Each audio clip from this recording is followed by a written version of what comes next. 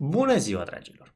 Sunt profesor Georgian Ungur, iar astăzi vom discuta despre cum putem construi un parcurs de învățare utilizând resursele educaționale deschise realizate de experții din cadrul proiectului CRED pentru disciplina Geografie, clasa a 5-a.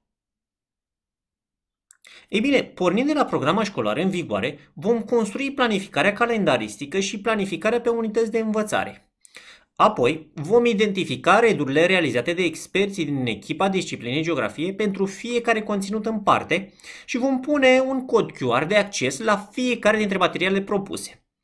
Pe acest prim diapozitiv eu am pus aici un cod QR de acces la canalul de YouTube EduCred Gimnaziu. Haideți să începem. După ce ne construim planificarea calendaristică și planificarea pe unități de învățare, mergem la fiecare săptămână în parte. Pentru săptămâna întâi, eu mi-am propus să am lecții de recapitulare și evaluare inițială, atât în prima săptămână când fac recapitularea, cât și în cea de-a doua când fac efectiv evaluarea. Ei bine, pentru acest lucru, eu vă recomand să utilizați resursa educațională deschisă de recapitulare inițială la începutul clasei a 5 care se găsește pe canalul de YouTube Lecții Geografie Geographic Classes, poate fi accesată scanând codul QR din partea dreaptă a ecranului. Pentru săptămâna a treia deja începem să parcurgem materia din programa școlară de clasa a 5 -a, programa școlară în vigoare. Universul și sistemul solar, aspecte generale. Avem o resursă educațională deschisă în cadrul proiectului CRED, realizată și încărcată pe canalul EduCred Gimnaziu, accesul la fel scanând codul QR. La fel faceți și pentru Lecția Terra, o planetă a Sistemului Solar, formă și dimensiuni. Pentru acest conținut avem de asemenea o resursă educațională deschisă, cu ajutorul căreia putem dezvolta competența specifică 4.1, utilizarea metodelor simple de investigare. Pentru săptămâna a 5-a avem călătorie virtuală în univers aplicație practică. Pentru săptămânile 6-7 vom face recapitulare și evaluare la finalul primului modul și la finalul primei unități de învățare, pentru că știm bine anul acesta ne vom organiza activitatea pe module și avem o lecție de recapitulare interactivă, Terra, o planetă a Universului, vrei să fii elev de nota 10. În săptămâna 8 -a, pentru săptămâna 8 avem conținutul globul geografic și harta coordonate geografice. Pentru săptămâna a 9 mișcările Pământului și consecințele lor, iar aici avem două reduri realizate de echipa de geografie din cadrul proiectului CRED, una despre mișcarea de revoluție și un alt red despre mișcarea de rotație. Săptămâna 10, în săptămâna 10 avem orientarea în spațiul terestru, elemente naturale și instrumente clasice și moderne, având aici un red în acest sens. Uite, eu am pus aici și linkurile și codurile QR. Codurile QR le scanați cu ajutorul telefonului mobil, cu ajutorul camerei telefonului mobil sau unei aplicații destinate în acest sens. Eu aici, de exemplu, dacă dau click pe acest link, îmi va deschide într-un browser resursa educațională respectivă. Voi face click pe unul pentru a vă și arăta cum se deschide aceasta în browser. Iată și aștept să se deschidă această resursă educațională deschisă de pe canalul EduCred Gimnaziu. Haideți să vedem. Explorează YouTube. Îi dăm aici. Și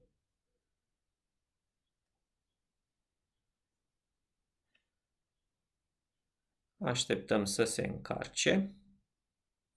Și iată, disciplina geografie, clasa 5-a.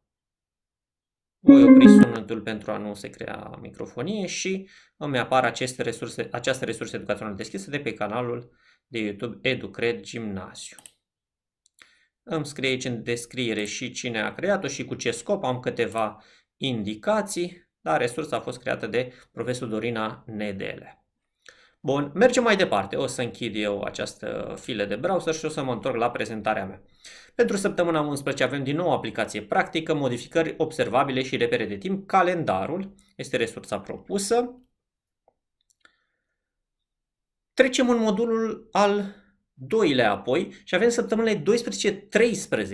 Aici avem recapitulare din nou la finalul acestui modul și a unității de învățare, globul geografic și harta, mișcările pământului, orientarea spațiului terestru.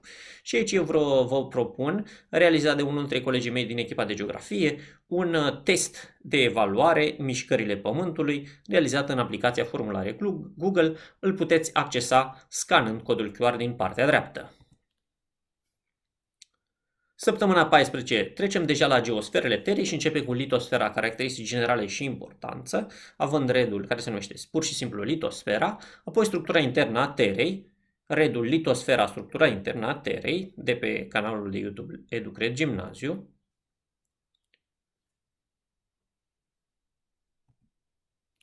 Săptămâna 16 deja trecem la elemente legate de relief, continente și bazine oceanice, forme majore de relief, apoi vulcanii și cu tremurile în săptămâna 17 în săptămâna 18 avem din nou aplicație practică, relieful orizontului local și avem un red realizat de una dintre colegele mele din echipa de geografie.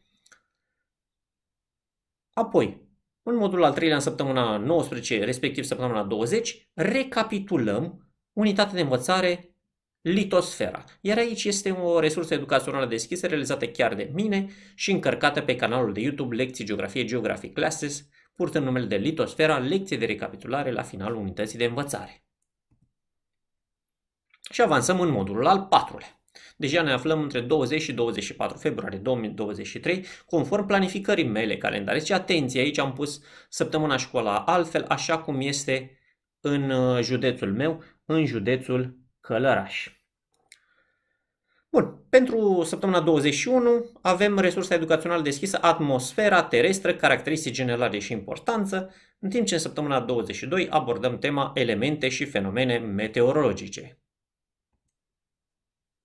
În săptămâna 23 trecem la vremea și clima, în săptămâna 24 zonele climatice ale Terei, influența climei asupra geosferelor. Săptămâna 25 vine cu o nouă aplicație practică referitoare la climă, vreme și activitatea umană în orizontul local. Iar aici vă propun un tutorial educațional pe care îl puteți folosi la clasă, identificarea și interpretarea datelor climatice înregistrate la diverse stații meteorologice. Acesta de asemenea, această resursă educațională deschisă de asemenea se află încărcată pe canalul de YouTube Educred Gimnaziu. În săptămânile 26-27 vom face recapitularea și evaluarea din uh, unitatea de învățare atmosfera cu toate competențele specifice pe care dorim noi să le evaluăm la această unitate de învățare, la finalul acestei unități de învățare și la finalul modulului cu numărul 4. În acest sens, pe canalul de YouTube Lecții Geografie Geographic Classes aveți un red Atmosfera lecției de recapitulare la finalul unității de învățare. Îl puteți accesa scanând codul QR din partea dreaptă. Ajungem la săptămâna 28 când debutează modulul cu numărul 5. Atunci începem capitolul legat de hidrosferă și începem cu prima lecție, caracteristici generale și importanță. După care trecem la oceanul planetar, componente și localizare, respectiv dinama, dinamica apelor oceanice.